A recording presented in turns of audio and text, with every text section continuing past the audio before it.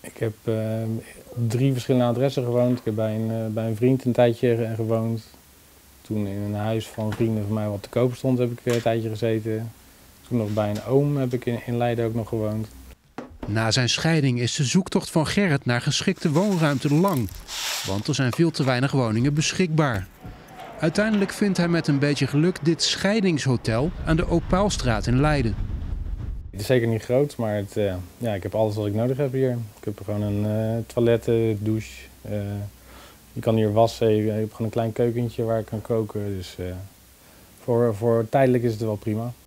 Het leegstaande kantoorpand is door Divorce Housing verbouwd tot tijdelijk onderkomen voor 39 bewoners.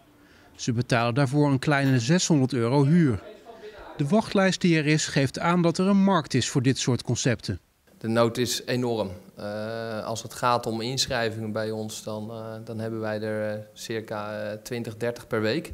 En die kunnen wij niet allemaal huisvesten. Dus het gebrek zit hem vooral in ruimte, wat we moeten vinden. Het is niet heel ruim, maar het is ook wel weer knus. Dus ik vind het wel leuk hier. En vind je het wel fijn dat je vader nou een vast plekje hier in ieder geval voorlopig geeft? Ja, ik vind dat wel leuk, ja. Want dan, dan kunnen we ook nog wat naar mijn vader toe gaan.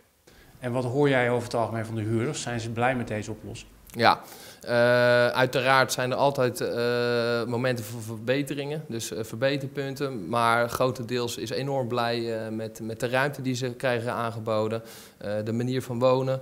en toch weer het leven op de rit kunnen krijgen. En dat doet ze goed.